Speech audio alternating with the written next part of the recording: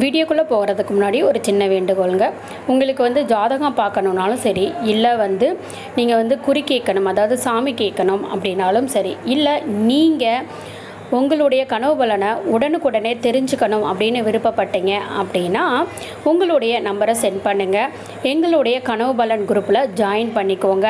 அது எப்படி ஜாயின் பண்ணுறதுங்கிற டீட்டெயிலை நீங்கள் உங்களுடைய நம்பரை சென்ட் பண்ணதுக்கப்புறம் நாங்கள் உங்களுக்கு இன்ஃபார்ம் பண்ணுவோங்க. இப்போ நம்ம வீடியோக்குள்ளே போகலாம்.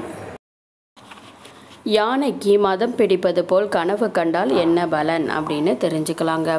அதாவது யானைக்கு வந்து மதம் பிடிச்சு அது வந்து ரொம்ப எல்லாரையும் கஷ்டப்படுத்துவது போலையும் இல்லை இருக்கிற பொருளை எல்லாமே நாசம் பண்ணுற மாதிரியோ கனவு வந்துச்சு அப்படின்னா நீங்கள் செய்யக்கூடிய வேலையில் அதாவது உத்தியோகத்தில் எதிர்பாராத பொறுப்புகள் எல்லாம் அதிகரிக்கும் அப்படிங்கிறத குறிக்கக்கூடியதுங்க.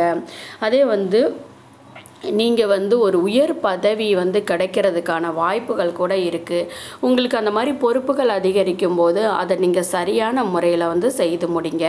அப்படி நீங்கள் செய்து முடிச்சிங்க அப்படின்னா கண்டிப்பாக உங்களுக்கு அது நல்லதொரு மாற்றமும் பலன்களும் வந்து ஏற்படும் அப்படிங்கிறதுல எந்தவித வித சந்தேகமுமே இல்லைங்க.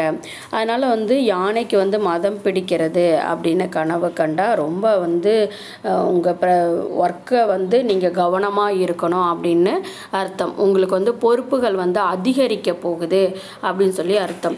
ஒரு ஓன் பிஸ்னஸ் நீங்கள் பண்ணிகிட்டு இருக்கீங்க அப்படின்னா உங்களுக்கு பிஸ்னஸ் நல்ல முறையில் போகும்.